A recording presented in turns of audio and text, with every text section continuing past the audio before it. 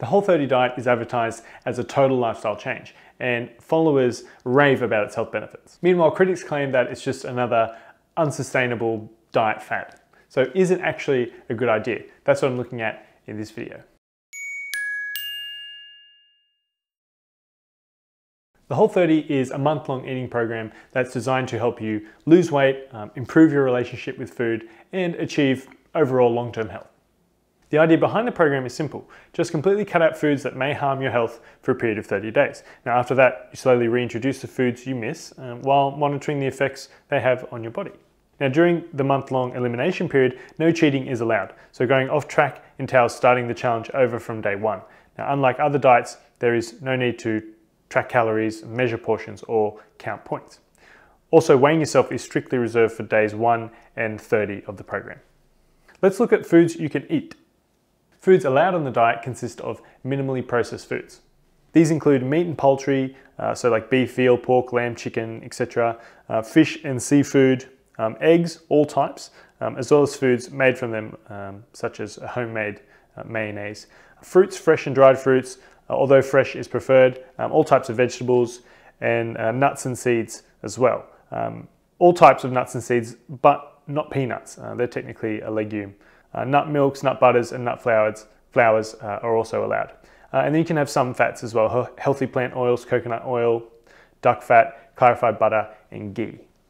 When minimally processed foods must be used, the diet encourages that you choose products uh, with the shortest ingredients list and with uh, ingredients that you recognize. Now, I feel that part is not really correct in that uh, most food ingredients that the average person cannot recognize or pronounce are actually perfectly safe for you.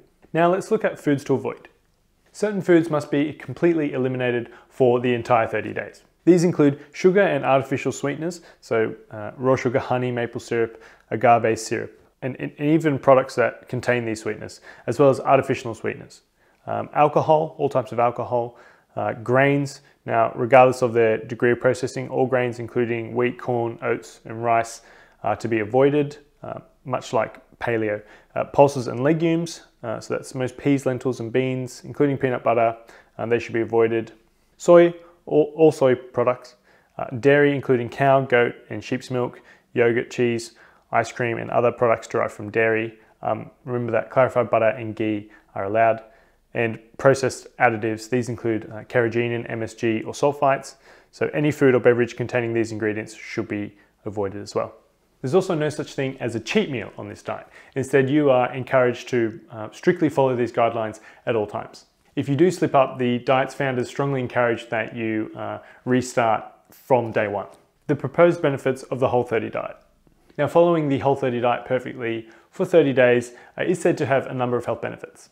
These include fat loss, higher energy levels, better sleep, reduced food cravings, and improved athletic performance. The diet's founders also promise it will change the way you think about food.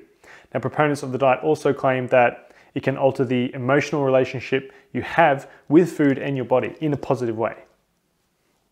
Although these claimed benefits appear very attractive, keep in mind that there's no scientific studies uh, that are backing them up. And not just studies on the actual diet, but any studies to suggest that uh, completely eliminating dairy or legumes or grains or other food sources uh, have any of those reported health effects. Are there any potential negative effects of the Whole30 diet? Look, the fact that it's only 30 days uh, means potential negative health effects um, are pretty small. I mean, avoiding nutrient-rich foods like legumes and dairy may make it more difficult to meet all your daily nutrient requirements during the month, but for one month, you can't really do much damage. Now, if you go longer than a month, that's where you could get problems. For instance, those who keep slipping up and having to restart over from day one. Now, in addition, although rigid rules can be a good way to reset eating habits, for some people, restrictive diets with no allowance for indulgences are generally not sustainable over time. So again, you wouldn't do this for more than a month. Overall, because of its restrictive nature, the Whole30 diet uh, will help you to create a calorie deficit that you need to lose some weight. Um, and you'll also eat less junk food and processed foods because you're not allowed to.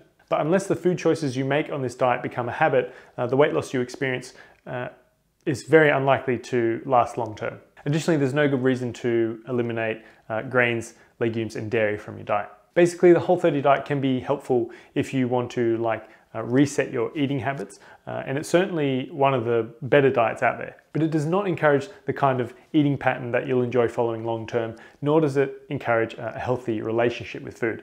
And that's a deal breaker. Thanks for watching. Make sure to give this video a thumbs up if you found it informative. And don't forget to subscribe to the Authority Nutrition YouTube channel by clicking the red subscribe button below this video.